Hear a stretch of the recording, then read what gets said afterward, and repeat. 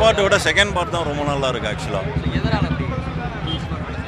இல்லை கதையாகவே வந்து ரொம்ப எங்கேஜிங்காக இருக்குது எங்கேயுமே போர் அடிக்கல. அதுக்கப்புறம் டெக்னிக்கலாக வந்து நம்மளை எங்கேயுமே வந்து இப்போது ரொம்ப இந்த ஒரு மசாலாவாக சாங்கிங்கெல்லாம் போட்டு கிரிஞ்சாக சில விஷயம் பண்ணுவாங்களா? அதெல்லாம் இல்லாமல் வெறும் கதை. சூப்பராக சொல்லியிருக்காங்க அதை. எங்கேயுமே நவுற விடாமல் இன்னொன்று பேக்ரவுண்ட் ஸ்கோர் எஃபெக்ட்ஸு எல்லாமே எக்ஸ்ட்ரா சூப்பராக இருந்தது. ஆமாம் ஆமாம் மூமெண்ட்ஸாக நிறைய இருக்குது நிறைய விஷயம்.